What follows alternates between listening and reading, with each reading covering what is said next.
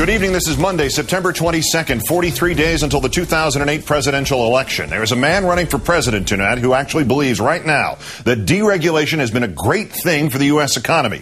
He has surrounded himself with lobbyists who made millions pushing for the regulatory changes that facilitated the current crisis. And he thinks that deregulation of the banking industry has been so great, we should do exactly the same thing with, make that two, health care. Naturally, his campaign today conducted a conference call to announce that the New York Times can no longer be considered a news organization. And when Politico.com chronicled the factual errors the campaign made during that conference call, the campaign then declared that the Politico writer is, quote, in the tank.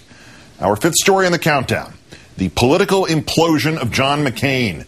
Whatever the senator is saying now, and he has taken at least two sides on this issue today alone. The Republican nominee having showed his hand in the current issue of Contingencies, the magazine of the actuarial profession.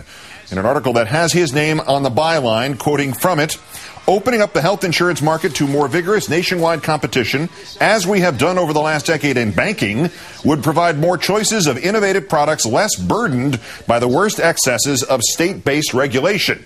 The McCain campaign claiming that the senator was referring only to the regulatory change that allowed banks to operate across state lines, not banking deregulation at large. But since the what he meant to say candidate does not specify what he really meant in the article, we'll rely instead on McCain's anti regulatory voting record, about which the Republican nominee telling Scott Pelley of 60 Minutes he has no regrets. In 1999, you were one of the senators who helped pass deregulation mm-hmm. of Wall Street. Do you regret that now? No, I think the deregulation was probably helpful to the growth of our economy. And guess who else made light reading of the McCain healthcare deregulation article over the weekend? Well, the Obama campaign, up with a new ad today to prove it. We've seen what Bush McCain policies have done to our economy. Now John McCain wants to do the same to our health care. McCain just published an article praising Wall Street deregulation, said he'd reduce oversight of the health insurance industry too, just as we have done over the last decade in banking, increasing costs and threatening coverage, a prescription for disaster. John McCain, a risk we just can't afford to take.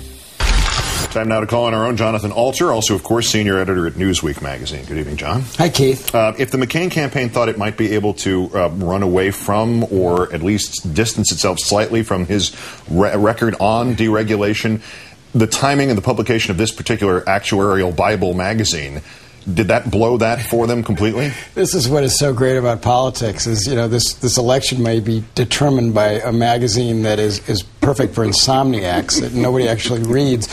Um, but it, it, what it does is it confirms uh, where he has been all of these years. You know, he said that that 1999 uh, bill that was written by his close friend and would-be Treasury Secretary Phil Gramm, the man who he thought should be president of the United States in 1996, uh, that, that that helped the economy. It didn't help the economy. The, the economy started to decline in 2000, the following year. Uh, it was after the big years uh, on Wall Street. All that it did was turn it turn the big casino into an even bigger casino in a very very unhealthy way. There is no record of him voting for regulation. Uh, increased regulation going all the way back to the early 80s when he came to Congress.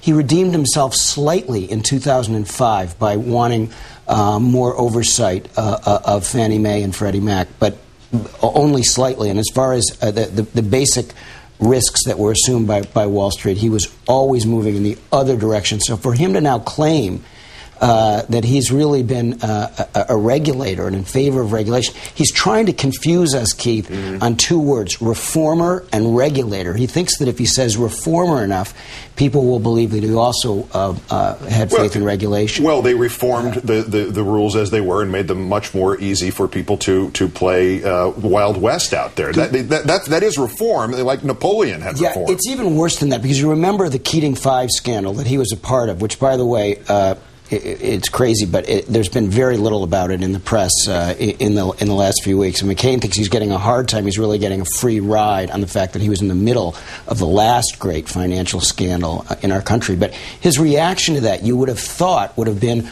more regulation of the financial uh, services industry.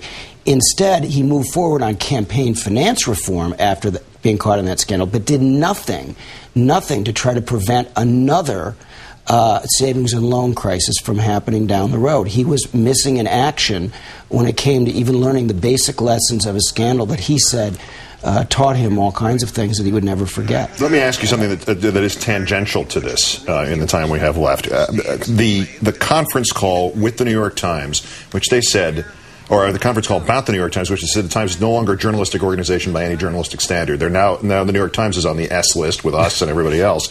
Politico.com came back and listed the factual errors that they made in this uh, uh, in this conference call. So now the claim was, well, now Politico is also on the list. They're in the tank. Is this still an idea of rallying the base against the media, or is this just panic? Well, uh, I think there is a little bit of, of panic, but it's mostly in the form of just a, an emotional reaction uh, that they can't control. What, what, ends up happening in these campaigns is that the character and personality and temperament of the leader leaks down to all the people below him. So if you have a, a candidate who is erratic, uh, has a temper, likes to lash out, um, you're going to see that on the part of his, his people as well. It's, it's just uh, a natural thing. And it's also just really trying to not just work the refs yeah. the way they do in basketball, but actually get on the court and push, push the refs, hoping that their bosses will go, oh, well, you know, we don't want to get in trouble with the guy who might be president, so we'll move in the other direction and go easier on him. I don't think it's going to work in this case. No, because there's always more refs. Yeah, right. John Alter of MSNBC and Newsweek, as always, thanks for coming in. Thanks, Keith.